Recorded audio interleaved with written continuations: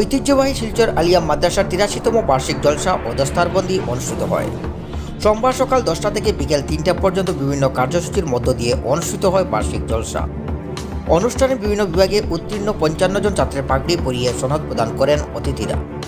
জলসায় বক্তব্য রাখতে গিয়ে অতিথিরা বলেন, আল কোরআন হচ্ছে ইসলাম ধর্মের পবিত্র ধর্মগ্রন্থ। বিশ্ব কোরআন পূর্ত প্রতীক শান্তির দূত হজরত মোহাম্মদ সাল্লা সাল্লামের উপর এই কোরআন অবতীর্ণ হয়েছে। পৃথিবীর বুকে অগণিত মাদ্রাসা পড়ুয়ার এটা নিজের বুকে সংরক্ষণ করে রেখেছেন। অনুষ্ঠানে উপস্থিত ছিলেন উত্তরপ্রদেশের রামপুরের ইহাতে সামুল্লাহ খান, মুকারিম উল্লাহ খান, শাহ সুফি নাজির আহমেদ, গোবিন্দপুরী, কাচার মসজিদের ইমাম মৌলানা নুরুল ইসলাম, শিলচর ইন্ডিয়া ক্লাব মসজিদের ইমাম মৌলানা মাসুক আহমেদ, মুফতি আব্দুল কুদ্দুস, শিলচর বড় মসজিদের সহকারী ইমাম মৌলানা শাকির আহমেদ মৌলানা নূর আহমেদ মৌলানা আমিনুল হক মৌলানা রাইজুল ইসলাম কারি আবু মুসা বিশিষ্ট সমাজসেবী কাইরুজ্জামান মজুমদার মজিবুর রহমান সহ বিশিষ্ট জনেরা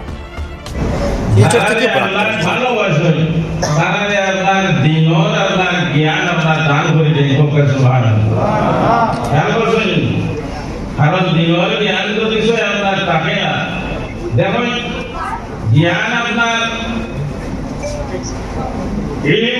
অর্থই হইলে আপনার জানা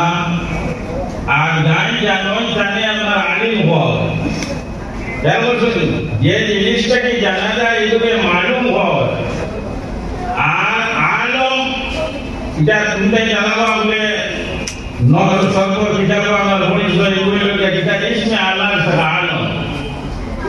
আলম। যে শব্দ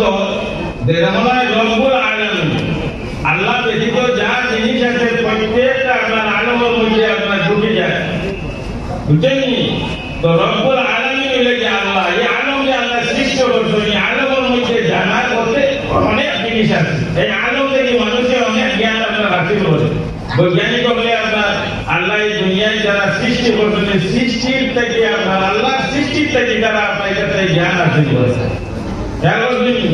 যেমন কম অজানা কোন আপনার বৈজ্ঞানিক হলে আমার জ্ঞান হাসিল করতে পারে না, আল্লাহ যে জিনিস বানাইছেন যেটা আল্লাহ আপনার বানাইছেন ও বানাই জিনিসটাকে তারা আপনার জ্ঞান হাসিল করতে পারে